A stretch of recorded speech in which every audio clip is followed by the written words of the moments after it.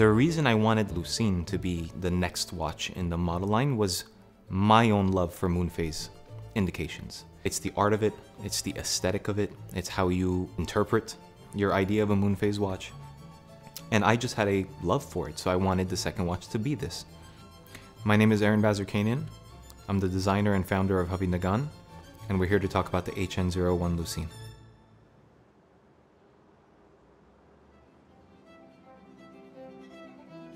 So, where it all started. That's the first initial drawing of what would become HN01 Lucine. I've always been enamored by off-centered designs.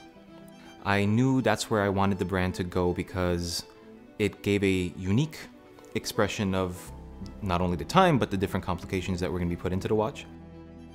The aesthetic of the moon phase depiction itself is proprietary to Havid Nagan. It's an image captured from Las Vegas of the moon in, in varied lighting that reveals the mineral deposits of the moon.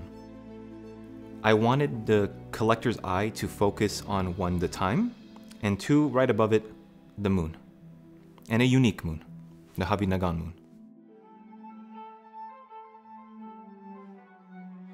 What you'll notice, first and foremost, is the thickness of the watch. The 00 at its midpoint is 11.6 millimeters thick.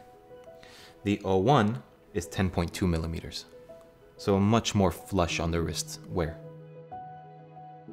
Not only is the base caliber much thinner, the moon phase module that we implemented ensured that we would have a 1.4 millimeter reduction in thickness to the overall watch, which was already, you know, goal achieved typically when you look at the moon, you see clouds. So my immediate thought was to decorate the movement on the front side, the dial side, with perlage. So it sort of evokes this moon against the cloud setting. There are varied levels of texture. So under sunlight, you will see the fine texture, and under shade or no light, it'll look flat. We partnered up with Jean Rousseau again to bring the collectors the same comfort, same fitting, the customizability. In my eyes, they're the only option. The alligator was the dressy option. The goat was sort of like a business casual kind of fitting. All of these new materials that we have, why not make them retrofittable to the OO? You give people much more optionality in terms of you know, how they want their OO to be expressed or how the O1 is going to be expressed. You know, if you want to pair it up with a different outfit or, you know, whatever the case may be. Uh, I wanted people to have that option.